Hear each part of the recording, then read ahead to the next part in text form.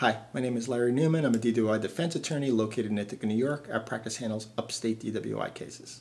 Today I want to talk to you about ignition interlock violations and conditional discharge in New York State. So, if your case ended with a DWI, since 2010, you'd have to have an ignition interlock device placed on your car, and the judge has to order it for one full year.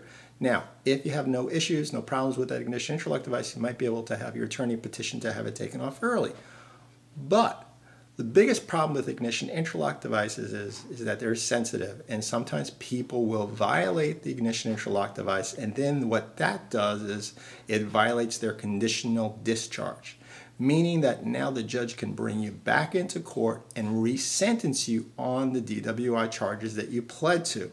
Yeah, that's a mouthful, and I'm going to take it one step at a time. So, what ends up happening is conditional discharge from a DWI case has a whole bunch of conditions. The main condition is he stayed out of trouble for one year. But a secondary condition for any DWI offense, aggravated DWI offense, regular DWI offense, is, is that you get an ignition interlock device placed upon your car and it's regularly monitored. Every time you get in the car, you have to blow into it. And while you're driving, you have to blow into it to check for alcohol.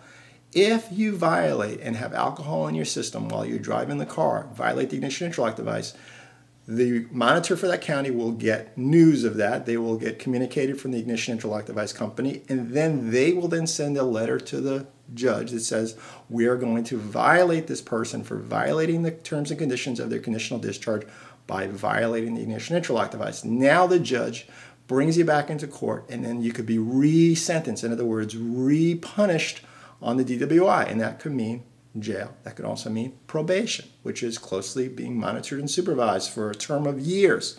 So it's important to get the gist or understand how all this works together. If you have questions about your DWI case or DWI violation, you to give us a call, shoot us an email, fill out the form on our website.